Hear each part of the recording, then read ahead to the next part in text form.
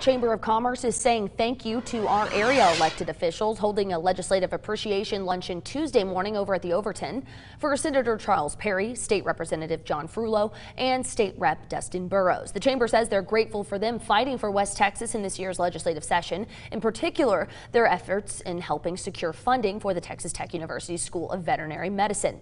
Admission to that lunch is $50, but chamber members get in for 40.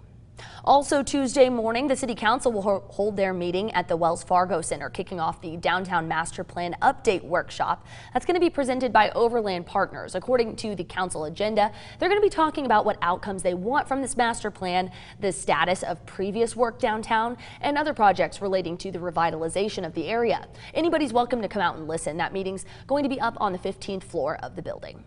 We're getting closer to having the new YWCA Community Center. A groundbreaking will be held this Tuesday at the old Kmart building on University Avenue. Mayor Dan Pope and the CEO of the YWCA are going to be there so you can get a guided tour of the shelled structure to see the future plans for the building. That's going to be from 11 to 1 Tuesday. Fundraising for the $20 million building is still going on though if you'd like to help out and get involved.